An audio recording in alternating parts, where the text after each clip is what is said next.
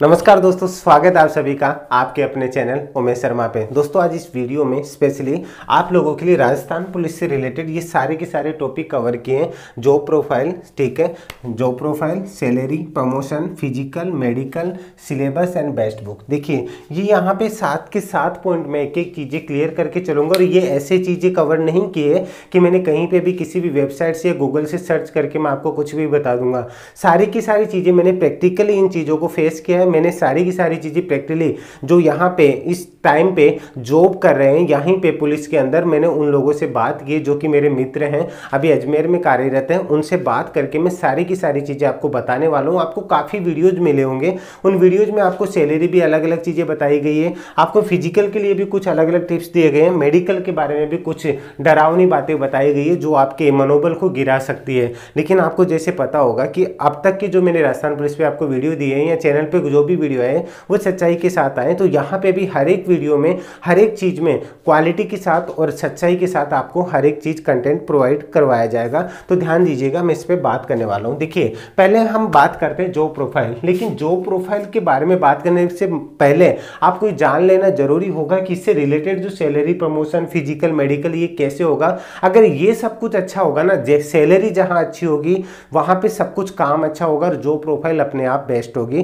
तो इसके लिए आपको सारी चीज़ें जानना स्टेप बाय स्टेप जानना बहुत ज़रूरी होगा, लेकिन एक चीज़ मैं आपको बता दूँ, देखिए पॉइंट इतने सारे हैं तो ये आपको टाइम लग सकता है इस वीडियो को थोड़ा सा देखने में थोड़ा सा लंबा पीरियड आपको लेके चलना होगा, क्योंकि ये वीडियो हो सकता है कि दस से पंद्रह मिनट तक भी चला जाए, हो सकता है उससे भी ऊपर चला जाए। अगर आपको टाइम है और अपने फ्यूचर के साथ कुछ खिलवाड़ नहीं चाहते हैं, कुछ अच्छा करना चाहते हैं तो इस वीडियो का तक ज़रूर देख लीजिएगा और एक और आपको अपना फ़र्ज़ निभाना है। जैसे मैंने अपना फ़र्ज़ निभाया, आपके लिए सारा का सारा कंटेंट जो ओरिजिनल आपको प्रोवाइड करवा रहा हूँ, उसी तरीके से आपका फ़र्ज़ क्या होगा? सच्चाई को सब तक पहुँचाना मतलब इसको ज़्यादा से ज़्यादा शेयर करना और अपनी जो राय है, अगर कमी है तो कमेंट सेक्शन में जाके बताइएगा। अगर अच्छा ही है तो भी आप बताइएगा, जिससे मेरा मनोबल बढ़ेगा। अगर कमी होगी तो मैं उसमें ज़रूर सुधार करूँगा। तो चलिए दोस्तों, चलते हम पॉइंट पे। हमारा पहला पॉइंट आता है सैलरी देखिए दोस्तों, यहाँ पे सैलरी सबसे ज़्यादा जानना आप लोगों के लिए बहुत ज़रूरी होता है। एक और चीज़ मैं बता दूँ सैलरी के बाद ये चीज़ें मैंने आखिर में क्यों ली है? क्योंकि आपकी सबसे ज़्यादा धड़कन है ना, सैलरी को लेकर के धड़कती है। तो मैं आपको बता दूँ, सैलरी जो टॉपिक है, इसको क्लियर करने से पहले मैं आपको बता दूँ कि सैलरी पे जाने से पहले आपको ये जानना ज़रूरी होगा कि जैसे आपने एग्ज़ाम पास की, जैसे आपने एग्ज़ाम पास की तो उसके बाद में आपका जो ट्रेनिंग पीरियड होता है, वो कितना होता है? जो ट्रेनिंग का समय होता है, वो होता है नाइन मंथ का। ध्यान दीजिएगा एक एक चीज़ कवर करके चल रहा हूँ। यहाँ पे ट्रेनिंग जो पीरियड होता है, वो नाइन मंथ का होता है। नाइन मंथ से लेकर के ये और टोटल मिलाकर के बाकी जो इलेवन मंथ और बचे हैं, ध्यान दीजिएगा। मतलब टोटल मिलाकर के ये जो आपका टू ईयर तक टू ईयर तक का जो प्रोविज़न पीरियड होता है, ठीक है? मतलब ये आपका प्रोविज़न जो पीरियड होता है, जिसमें आप अभी तक फिक्स नहीं होते हैं इसके ड्यूरेशन में आपकी सैलरी क्या होती है? देखिए, आपको वेबसाइट्स पे अलग अलग सैलरी बता रखी है अलग अलग तरीके से बता रखा है। पहले की टाइम पे जब ये सेवन्थ पे लागू नहीं हुआ था, तब की मैं बात बता रहा हूँ, तब आपको जो बाई हैंड मिलते थे, आठ हज़ार समथिंग कुछ मतलब आठ हज़ार दो सौ दस अलग अलग लोग अलग अलग वेबसाइट आपको अलग अलग चीज़ें बता रही होगी। मतलब मैं ये बता रहा हूँ कि आपको जो इन कैसिन हैंड जो यहाँ पे उस टाइम पे मिलते थे ना, वो आठ से साढ़े आठ हज़ार के बीच में मिलते जब सेवन्थ पे कमीशन लागू नहीं हुआ था। अभी भी आपको यही बताया जा रहा है, लेकिन नहीं, ऐसा कुछ भी नहीं है। अभी जो है वो, अगर मैं सैलरी की बात करता हूँ तो मैं आपको बता दूँ, ये पहले का था। अभी जो आपका दो साल तक आपका जो सैलरी मिलता है, वो आपको बता दूँ, तेरह हज़ार समथिंग कुछ मिलता है मतलब राउंड फिगर में मैं लेके चलता हूँ तो आपको चौदह हज़ार रुपये ठीक है? चौदह हज़ार रुपये की सैलरी आपको, जो भी जितने भत्ते वगैरह जो चीज़ें होंगी, उनको अभी आप सारी चीज़ें कवर करूँगा, लेकिन अभी ध्यान दीजिए ट्रेनिंग पीरियड में मतलब प्रोविज़न पीरियड में आपकी जो सैलरी होती है, वो अभी सेवन्थ पे कमीशन लागू होने के बाद में आपकी फोर्टी थाउज़ेंड ये सैलरी चौदह हज़ार रुपये सैलरी होती है। उम्मीद करता हूँ ये समझ गए होंगे। इसके बाद में आपका जो प्रोविज़न पीरियड खत्म होने के बाद आपको जो परमानेंट किया जाता है, आपको फिक्स हो जाती है आपकी जॉब उसके लिए क्या क्या प्रोसेस होती है, वो भी मैं आपको बता के चल रहा हूँ। वीडियो के अंत तक देखते जाइएगा। अगर आपको अच्छा लगता जा रहा है तो इसे यहाँ पे लाइक करके बताते रहिएगा और यहाँ पे कमेंट करना भी आपका सबसे बड़ा फ़र्ज़ होगा, जिससे मुझे पता चलेगा कि मैं आपको जो भी इंफॉर्मेशन दे रहा हूँ, वो बेस्ट है या नहीं है। देखिए दोस्तों, जैसे ही आपके टू ईयर कंप्लीट होते हैं ठीक है? जैसे ही आपके कि टू ईयर कंप्लीट होते हैं, ये टू ईयर कंप्लीट होने के बाद सबसे बड़ा पॉइंट क्या होता है कि आपको यहाँ पे जो एसपी के पास सुप्रिटेंडेंट ऑफ़ पुलिस है, जो एसपी के पास सामने आपको समक्ष आपको खुद को प्रेजेंट करना होता है, प्रस्तुत होना होता है, यहाँ पे आपको ये होने के बाद अगर आपकी जो जितने भी वेकेशंस मतलब जितने भी आपने छुट्टियाँ की हॉलीडेज जो जितने भी लिए हैं, वो आपकी छुट्टियाँ अगर ज़्यादा नहीं हैं, तब तो आपको दो साल के बाद में, ठीक है? दो साल के बाद में जैसे ही है, आपको फिक्स कर दिया जाता है। ये फिक्स करने के बाद अगर आपकी छुट्टियाँ ज़्यादा है तो आपको थोड़ा सा और टाइम लग जाता है। एक दो महीने आपको उस प्रोविज़न पीरियड को पूरा करना होता है, दो साल का जो होता है, उसके बाद में आपको फिक्स कर दिया जाता है। ध्यान दीजिएगा। जाएगा ये फिक्स होने के बाद में आपकी सैलरी क्या रहती है, मैं आपको बता दूँ, आपको अधिकतर वेबसाइट या अधिकतर वीडियोज़ में आपको तेईस हज़ार समथिंग कुछ सैलरी बताई जा रही है। दोस्तों, वो गलत है।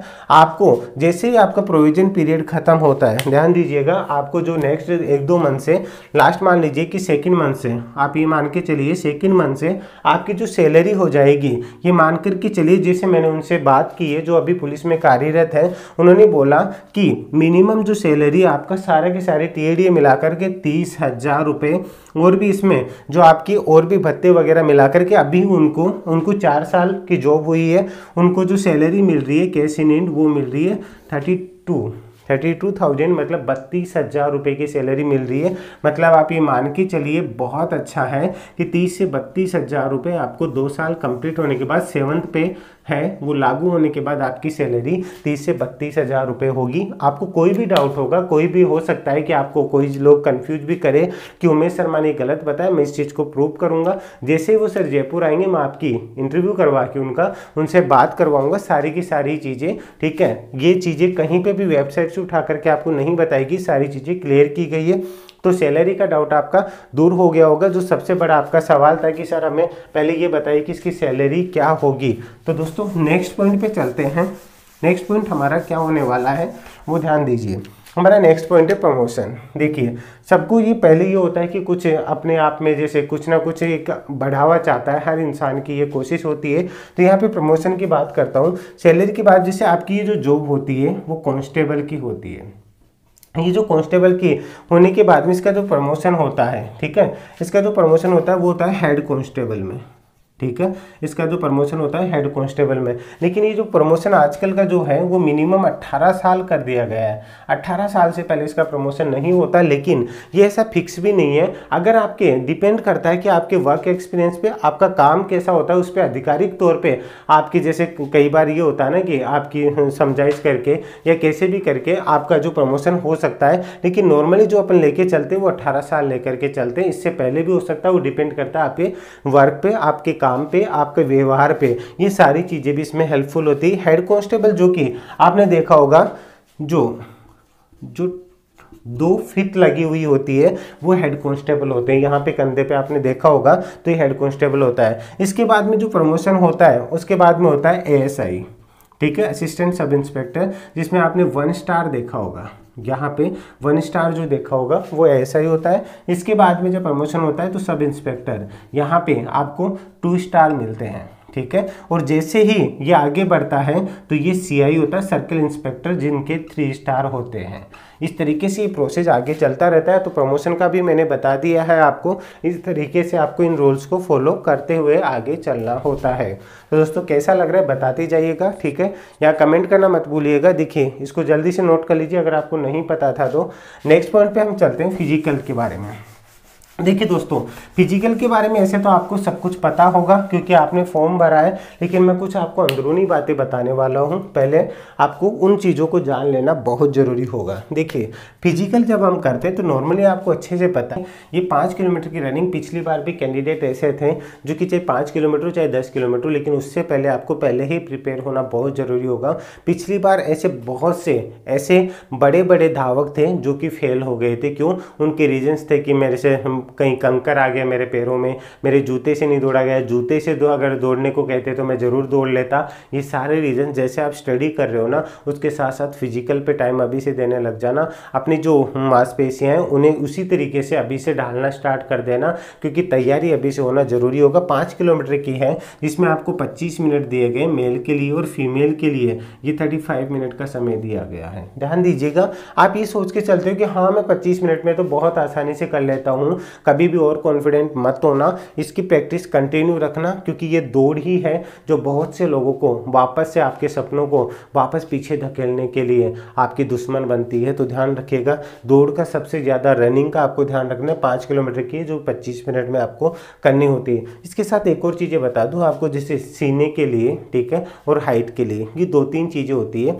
जब फ़िज़िकल होते वक्त देखिए दौड़ में तो ऐसा कुछ मिलेगा नहीं लेकिन आपका सीना मापते समय सबसे बड़ा पॉइंट है ध्यान दीजिएगा इस चीज़ में। अगर आपका सीमा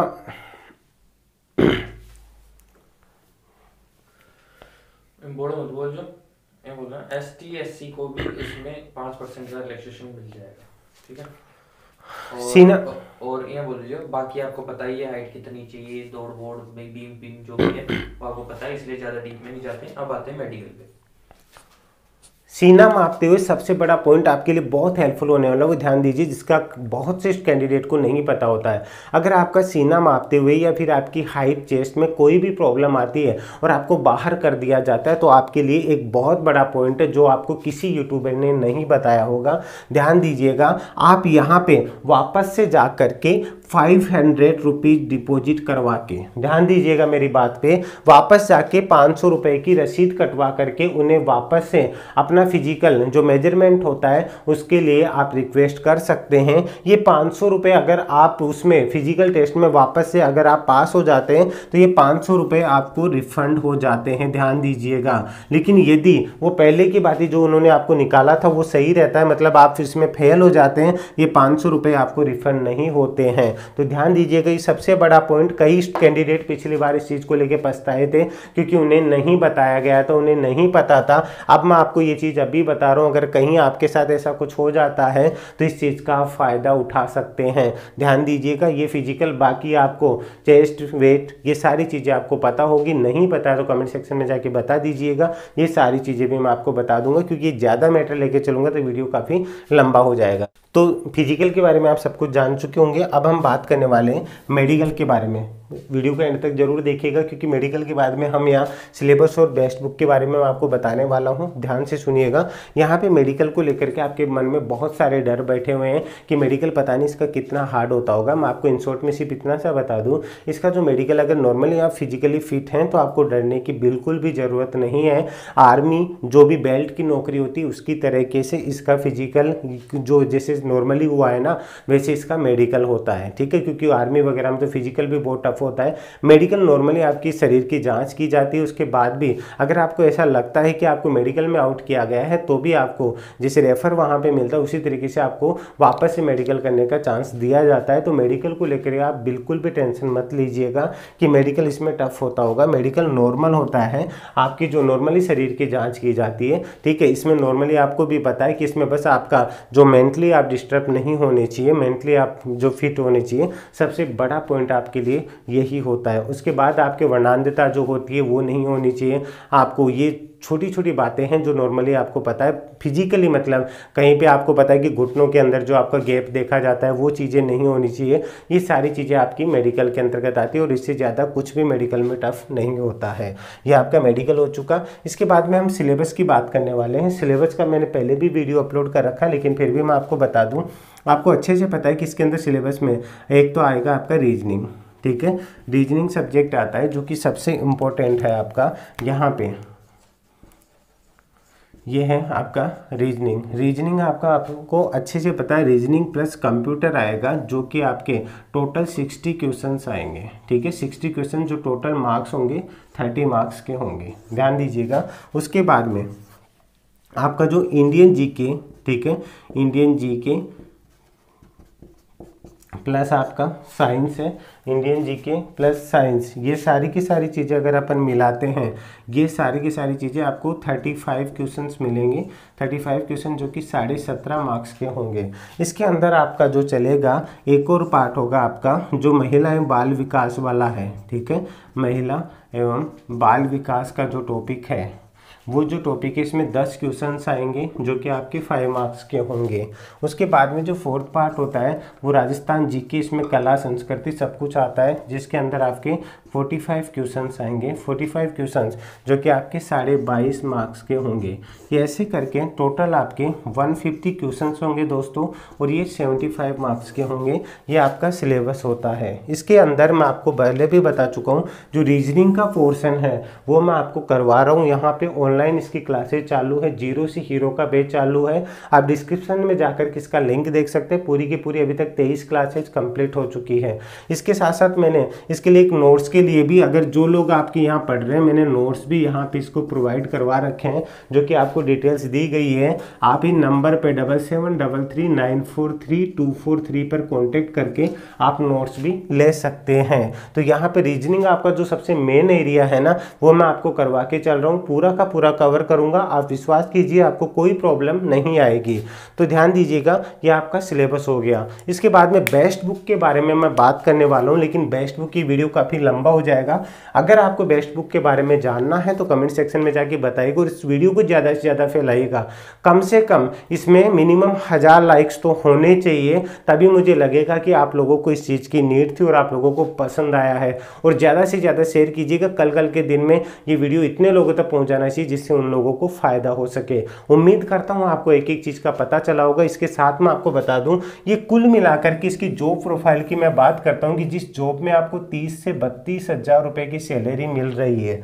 आपको ये भी बोला जाता है कि राजस्थान पुलिस की या किसी भी पुलिस की जॉब है, इसमें आराम नहीं किया जाता। आपको बहुत ऐसे लोग बोलते हैं कि ऐसी जॉब है जिसमें आपको रेस्ट नहीं मिलता। ऐसा कुछ भी नहीं अगर आपकी डे ड्यूटी होती है तो आपको नाइट में आराम मिलता है। नाइट ड्यूटी होती है तो डे में आपको रिलैक्स मिलता है। ऐसे लोगों की बातों में मत आइए। अपने फ्यूचर को एक यहाँ पे ऐसे पुलिस में जाकर के, वो भी राजस्थान पुलिस में बहुत आराम की नौकरी है। आराम से तैयारी कीजिए। आपको पता है कि 16 लाख अस्सी हज़ार फॉर्म लगे हैं, पाँच हज़ार पोस्ट है। आपको बहुत ज़्यादा मेहनत करने की ज़रूरत है। मुझसे जो हो पाएगा, हर कदम पे मैं आपके साथ बना रहूँगा। और इसके साथ आपको एक और वीडियो आने वाला है। उस वीडियो में मैंने आपको मिनिमम मार्क्स कितने कवर करके चलने हैं और आपकी फ़ोटो पे आपकी जो है, वो डेट ऑफ़ बर्थ लिखना ज़रूरी था या नहीं था, इसके लिए आप चैनल को सब्सक्राइब कर लीजिए। नेक्स्ट वीडियो जल्दी आने वाला है। अभी के लिए इजाज़त दीजिए। जय हिंद, जय भारत। धन्यवाद।